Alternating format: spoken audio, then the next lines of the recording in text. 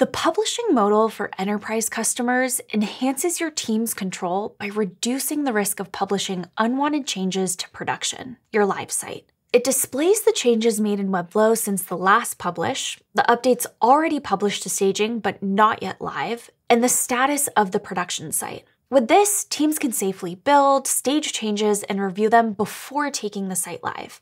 So in this lesson, we're going to walk through the enterprise publishing workflow in three steps. Making design changes in Webflow, publishing to staging for testing, and finally, publishing to production. Let's get started with the first part. At any time, you or your teammates can go in to update your site, change some content, tweak a layout, and also adjust styles. But something to keep in mind when multiple people are working on a site, you want to make sure unfinished work doesn't get published by accident. That's where page branching comes in. Page branching lets multiple team members work on different pages at the same time without overwriting each other's changes. And before merging the branch into the main site, everything gets tested in a dedicated staging environment.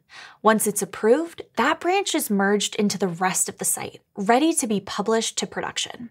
All right, with that, let's move on to publishing to staging. To do this, let's go up to publish. Right away, we can see on the left a summary of all the unpublished changes. If we want more detail, we can click on each change type to see exactly what those changes are in the site activity log. But once everything's good to go, it's time to publish to staging. Now our updates are live on our staging domain. They're no longer listed under your site since they've already been published to staging. And Webflow even shows that I was the one who published to staging. If new changes are made afterward, they'll appear as separate updates, ensuring full visibility and control over what's being tested. So let's go ahead and publish these to staging. And there we go. All of our changes are live on staging. Now we can use our staging domain to test user accessibility, check compatibility across different browsers and devices, and make sure everything looks and functions as expected. But once the site is approved, then we can move on to the final step, publishing to production. From the publishing modal, click Publish to Production, and those changes under staging move to our live site while keeping any in-progress updates separate. That means if new edits were made in the designer while we were testing and staging, they won't be published yet.